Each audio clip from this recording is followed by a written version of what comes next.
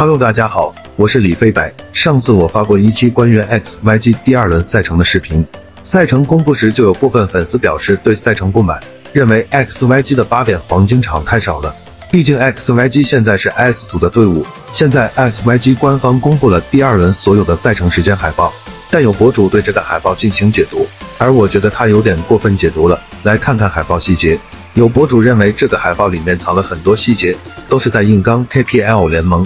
首先是队伍的吉祥物小猪，坐在电竞椅上看手机，旁边有一行字六八八，明显是在暗示自家老板张大仙。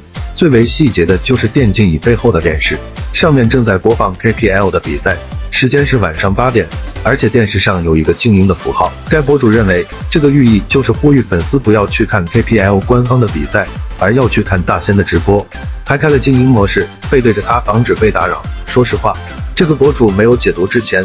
我没有看出海报还藏了这些寓意，他这一说好像有点那个味道了。如果只是普通网友，肯定不会注意到这么多细节。小伙伴们认为 XYG 这个海报有正面硬刚 KPL 联盟吗？